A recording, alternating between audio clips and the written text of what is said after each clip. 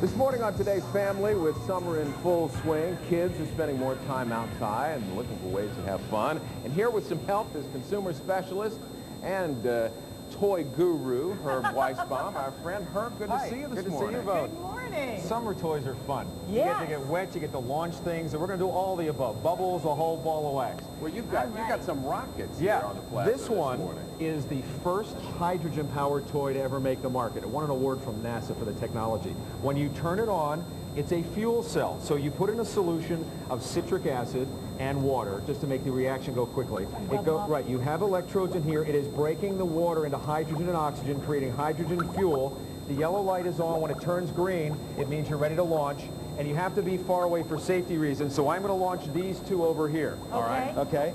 So there's a safety feature built in. You have to pull the cord to make it launch. Excuse me for standing in front of you. And here we go. Now watch it come down as a helicopter. Turns around, and there it Oh, goes. that's very cool. cool. Is this, this out yet? It'll be out in August, and it'll, it's only 50 bucks. I mean, that's a lot of technology for 50 bucks. And you uh, said hydrogen though, but you're but it's perfectly safe they, except for the fact you have to be stand far enough away so it didn't go off because I didn't have the, the cord pulled, and it has to be level. And then there's this Oh, rocket. That's so cool. Isn't that neat? It comes Yeah. down as a helicopter. The wanna make rocket one I have here goes higher. enough. It this does? goes This higher. goes higher than 10 and up, but you want adult supervision. This Right. goes even higher. Right. Okay. So I think it's very cool.